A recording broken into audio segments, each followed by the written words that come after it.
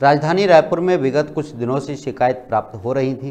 कि भाटा गाँव स्थित नवीन बस स्टैंड में बस एजेंटों ने यात्रियों की हमसे टिकट क्यों नहीं लेने को कहकर यात्रियों के साथ दुर्व्यवहार किया है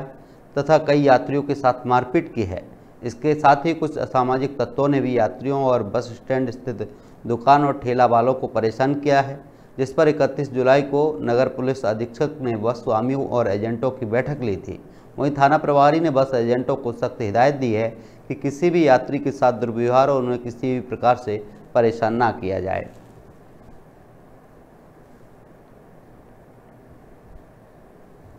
टिगरापाड़ा थाना क्षेत्र में नया बस स्टैंड जब से चालू हुआ है तो बीच बीच में लगातार जो है इसमें